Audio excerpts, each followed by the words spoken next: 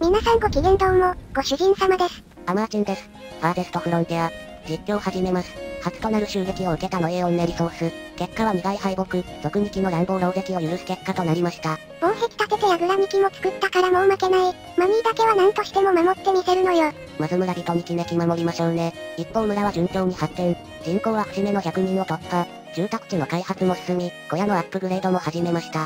でもみんな一緒に用意どんで始めちゃったからさ大変。板材足んなくてこのありさま。現在も半数の小屋のアップグレードが並行して発生。板材の生産が全く追いつかない状況ですね。おかげで他の施設の建設が全く進まない状況です。村人にキネキの快適な住空間のためやし、まあしゃあないわな。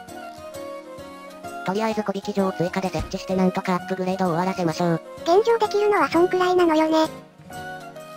さて11年目を迎えたノイエオンネリソース。今年も交易の季節です。今年最初のお客さんは鉄ネキ。よく来たな。今年の鉄ネキは陶器を高値で買ってくれないネキ。しかし相変わらず鉄インゴット安値で売ってくれるネキ。じゃ剣インゴットだけ買っておきましょうね。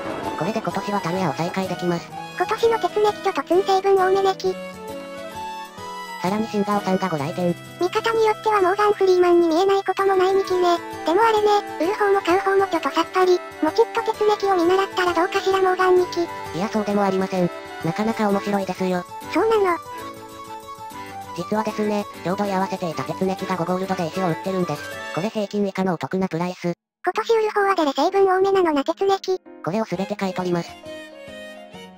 そしてモーガン2機、実は石を平均以上の価格で買い取ってくれる2機、5ゴールドで鉄ネキから買った石を7ゴールドでお買い上げです。転売ヤー最高やな。まあ石はこちらも必要なのでモーガン2機に売るのは一部だけですけどね。でも転売で儲けたりできるのね。交易2機ネキが交易所に2人同時にいて、その2人の受給がマッチした時だけですけどね。そっか、売りたい2機が平均以上、買いたいネキが平均以下の価格だと損になるしね。毎度毎度転売で儲かるわけではないですが、機会があれば逃してはありませんよ奥さん。いやなかなか幸先のいいスタートじゃないの。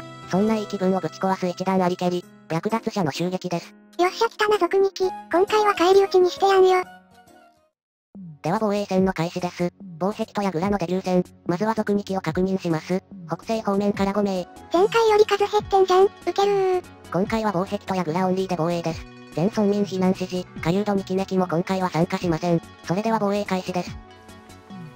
族2機間もなく村中央に侵入します。なんか後ろに熊さんいますけど気にしない。グッバイクマコー。族2機5人集防壁に接近、門閉じます。撃ち方はじめー。お、いいじゃないいいじゃない。当選簿された族2機たち、いい的じゃないの。あと何本で死ぬのかな。族2機5人すべて排除。グッバイ族2機。いいね、いけるやん。5人程度の族2機ものの数じゃないのよ。ここで襲撃を変わり、次の族2機は10人。マジかよ。また前の村の時と同じパターン。次の族2機は北東方面からの侵入。数は先ほどの族2機の倍、やれますかねやれんのかじゃねえよやるんだよ。総員、戦闘配置につけ。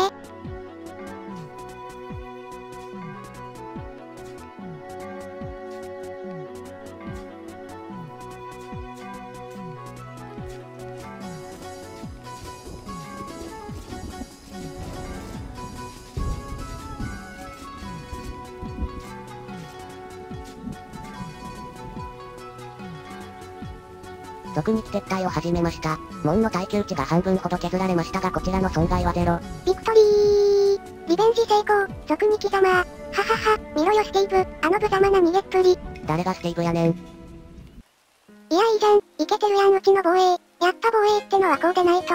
門に崩れ落ちた族2機の死体が実に飯馬。まあ想定通りに防衛できましたね。問題はこの防衛体制でいつまで持つかという点ですが。やっぱだんだん増えてくのよね族2機。しばらくは矢倉や兵士を増やして対応するとして、その先の防衛体制についても今から考えておきましょう。そして時は流れて12年目の夏。11年目の動画ファイル壊れちった。すまんな。11年目の内容についてはおいおい説明していきましょう。まあ小屋のアップグレードのせいでほとんどなーんにもできなかったのよ。その住宅地のアップグレードも昨年冬にやっと全て完了。やっと村の開発を再開できるようになりました。平和な村に熊さん登場。進撃の熊さん。猛獣の中でも体力が多い熊さん。下流度にキネキでも手こずる甲の者。しかし村の防衛を固めた我々にもはや隙はありません。熊さんに遂げられた村人にキネキを防壁の内側に誘導すればそれで OK。やぐらからの容赦ない攻撃が門の中に入れず棒立ちの熊さんを襲う。グッバイクマさん。次はせめて門の開け方を学んでから来るんだな。猛獣が出た時の対処も楽になりましたね。そして現在牛小屋を建設中。春先にヒゲダン2機が薄さん売りに来たのよね。平均価格以上登った栗だったけど買っちった。こっちも高値で陶器売りつけましたけどね。牛小屋が完成。早速購入した牛を移動して放牧、酪農の開始です。今回は2頭でスタート。ドナドナ、ルナルナ、たくさん食べて大きくおなり。数が増えるまでは酪農オンリー。いずれはお肉と皮も取れるようになると嬉しいですね。住宅地にはやっとパン屋を設置できます。もっと早く作りたかったけど小屋のアップグレードのせいで建てられなかったのよね。パン屋さん完成。これで住宅地も前の村と同じくらいに賑やかになってよきかな。でもこっちの村はもっともっと賑やかにしてかないとね。そうですね。ただこの住宅地での開発は一旦ここでストップですね。さらなる発展のためには人口の増加が不可欠。そろそろ2番目の住宅地開発が必要です。実は11年目から住宅地の反対側、南東部に第2住宅地の造成を始めています。今後の住宅開発はこちらが中心となりますね。最初の住宅地は放置なの。次の住宅アップグレードのために公的度をさらに上げる必要がありますので、開発はこれからも継続します。ただ住宅を増やしていくのは第2住宅地がメインになりますね。ある程度小屋の数が増えたら市場や学校、公園を建てていきましょう。左右対称に住宅地が並ぶ感じになるのね。いいじゃない。そして迎えた13年目の春。去年始めた酪農では早速子牛が生まれたようです。こいつは春から縁起がいいね。村の人口は現在106人。テアスリーの条件まで20人切ったのよ。ただ薪や食料の備蓄は以前ほど維持するのが容易ではなくなっている状況です。旧オンネリソースに比べて農地の造成が遅れているのも気になるところ。まだ畑3年しかできてないのよね。テア3に進むまでに最低でも5年は作っておかないと厳しいでしょうね。では13年目を始めましょう。まずは第2住宅地に市場を設置。こちらでもサービスの提供と税金の徴収を開始します。最初の住宅地アップグレードしたおかげで税金の額もアップアップ。その税金を村人にキネキに還元、癒してのよりを最初の住宅地に建設します。これで今まで救えなかった村人にキネキの命を救うことができるようになりますね。でもお値段を高めの一月30ゴールド。旧オンネリソースでは公的度を上げるためにしか使いませんでしたが、ノイエオンネリソースではその本分を存分に発揮していただきたいですね。交易ではちょび2機がご来店。今回は靴と街灯を高値でお引っ取りいただきました。ちなみにこちらが買った商品なし。売り手としてもちっと成長せんとなちょび2機。続いてのご来店は鉄ネキ。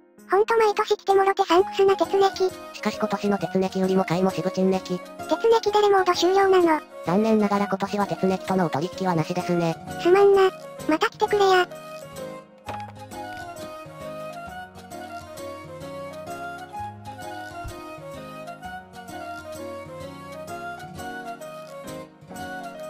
はテア3を見据えた資源開発。村の南にある交渉で石炭の採掘を始めます。ただ埋蔵量は少ないですね。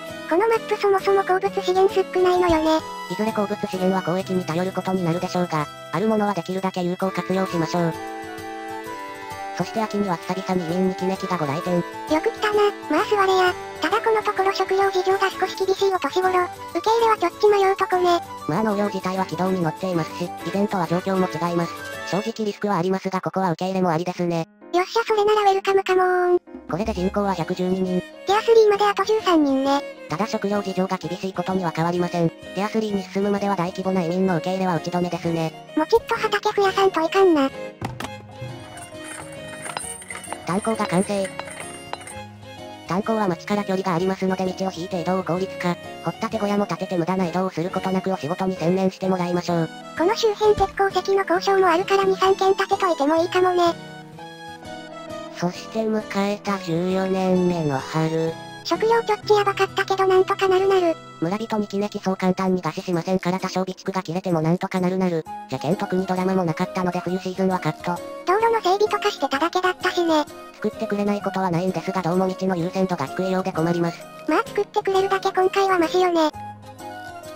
そして春先から島民明けの熊さんがこんにちは。熊さん門の中に入れないし門を攻撃もできないのよね。門の前に立ち尽くしちゃってるのよ。かわいい。一方的に矢で撃たれ放題の熊さんかわいい。グッバイ熊さん。さて14年目のノイエオンネリソース。いよいよテア3が見えてきました。前の村ではゴールだったけど今回はむしろスタート。第2住宅地の造成も順調。食料事情さえ改善できればまだまだ人口は増やせますね。少なくともスペースの問題はナッシング。村の防衛もそろそろ次の段階に進めたいところですが、今はとにかくティア3の到達が目標ですね。それでは新たな住宅地の造成を開始して、今後ますますの飛躍が期待される我が村を眺めつつ今回はここまで。ご視聴ありがとうございました。